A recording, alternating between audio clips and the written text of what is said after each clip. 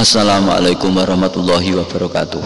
Ibadah sholat taraweh tercepat di Indonesia Bahkan bisa jadi tercepat di dunia. Ternyata ada di Indramayu, Jawa Barat.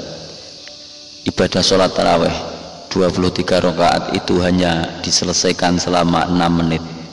Artinya untuk satu rakaat hanya membutuhkan waktu selama 15,6 detik.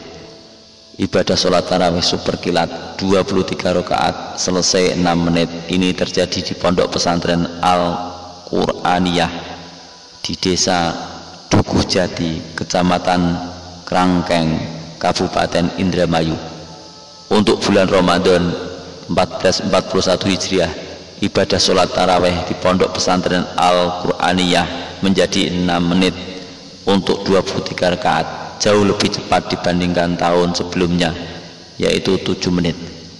Penyebabnya adalah karena dampak virus corona atau covid-19 pengasuh pondok pesantren Al-Quraniyah Azun Mauzun mengatakan semakin kilatnya pelaksanaan sholat taraweh di pondok pesantren setempat menyesuaikan imbauan Majelis Ulama Indonesia yang menganjurkan bacaan surat dalam sholat taraweh harus pendek-pendek.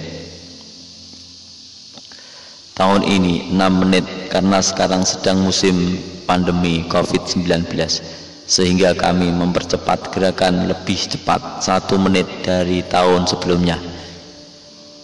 Azun Mauzun menyampaikan pelaksanaan sholat taraweh di pondok pesantren Al-Quraniyah yakni sebanyak 23 rakaat sudah termasuk witir atau dengan kata lain saat mengimami jamaah melaksanakan sholat taraweh azun mauzun hanya memerlukan waktu 15,6 detik saja per rakaat salatnya.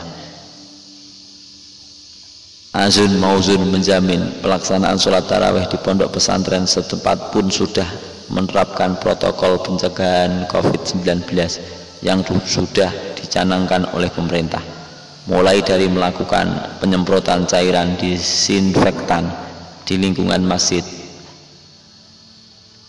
menganjurkan jamaah mengenakan masker dan mencuci tangan. Jarak antar jamaah pun dalam sholat di jarak sepanjang 1 meter sebagai penerapan physical distancing dalam hal ini disampaikan Azun Mauzun Pelaksanaan sholat taraweh kilat ini sudah berlangsung selama kurang lebih 10 tahun lamanya.